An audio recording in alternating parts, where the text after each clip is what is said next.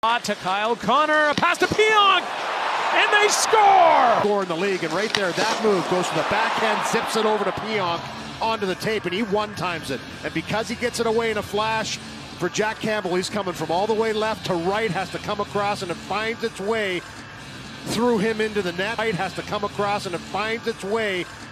Right has to come across, and it finds its way.